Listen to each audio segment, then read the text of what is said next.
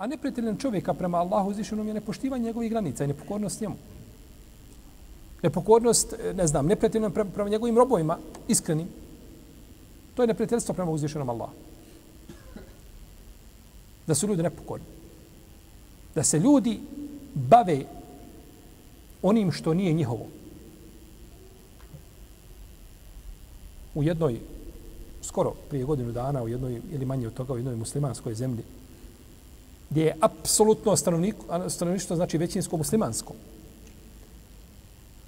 U parlamentu se raspravlja da li dozvoliti ljudima pod plaštom slobode govora da mogu psovati uzvišenog Allaha i din i vjeru i poslanika sa na ulici javno i da ga niko zbog toga ne može sankcionisati.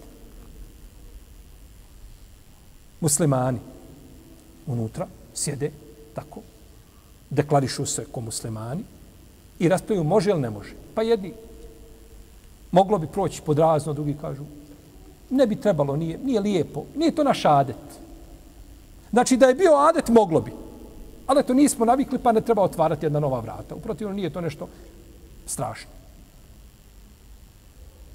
Allah je samo Allahu zahvaljivati kako kamenje ne, ne pošalje na nas ptice da nas razgrebe da nas nema. Da ljudi sjede i da raspravljaju. Znači, spomeni, spomeni istok, zapad, spomeni ovoga, spomeni onoga po imenu, dva puta ga spomeni, Znate li da radio plati 20.000 maraka kazne zato što neko spomene samo tamo nekoga indirektno? Kažu, to je širenje, to je mržnje, to je govor mržnje. A nije govor mržnje vrijeđati islam i vrijeđati poslanika i time dirati u emocije milijardu i po muslimana, četvrtina zemaljske kugle se zbog toga ljuti. Vamo se ljuti jedna država od 20, 10, 15 miliona ljudi. I onda, i onda očekujemo da budemo bolje. Ne može nam biti bolje nikako. Allah neće promijeniti stanje jednog naroda dok narod ne promijeni sam sebe. Ne ima promjene. Pa je nepokornost, znači uzvišenom Allahu, da ljudi, a, odnosno neprijateljom prema uzvišenom da ljudi budu nepokorni stvoritelju te barake